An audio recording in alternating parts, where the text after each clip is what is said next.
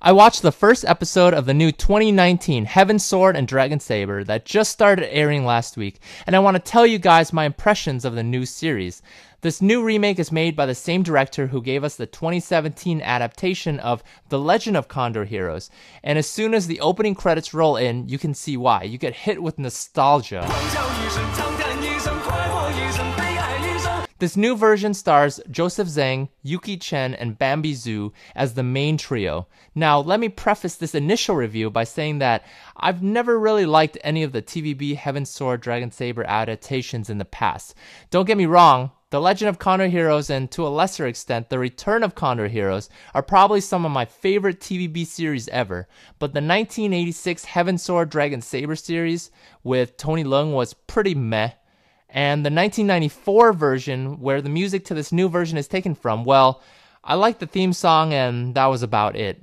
And finally, the 2000 version with Lawrence Ng was the one that I probably watched the most and I still never really finished it. So, what do I think of this new remake? Well, I can honestly say this is probably the best kind of remake that director Jeff Chang could have possibly made, especially for someone like me.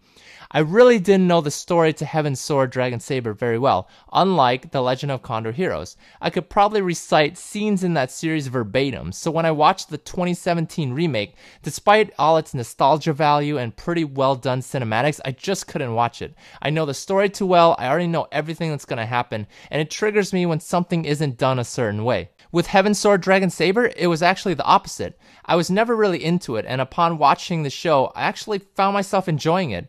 The pacing of the story is good. I haven't even seen the true main characters yet, since they're still setting up the storyline. The cinematography is relatively good, and it keeps CGI to a minimum for the most part.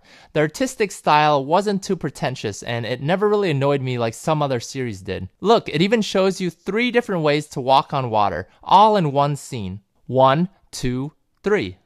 One thing that did annoy me was the guy trying to hoard the dragon sword in the beginning all to himself. I mean, look at this jerk. He shoves the third student in the way of this log even after getting saved by him. I instantly decided at that very moment that he deserved to die, and the whole time after that incident, I kept waiting for him to be killed off in a satisfying way, but he never does. He steals the hero's entire bag of what I can only assume is ibuprofen and shoves the entire thing in his mouth. I don't think that's how medications work, buddy. Anyways, I was really hoping he would get what was coming to him in a clever way that highlights his greed, but he just gets poisoned to death. Come on!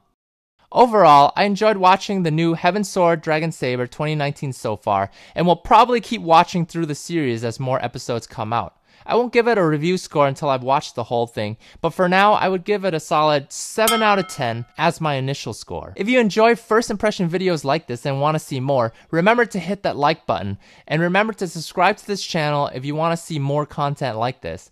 Thanks for watching you guys, bye!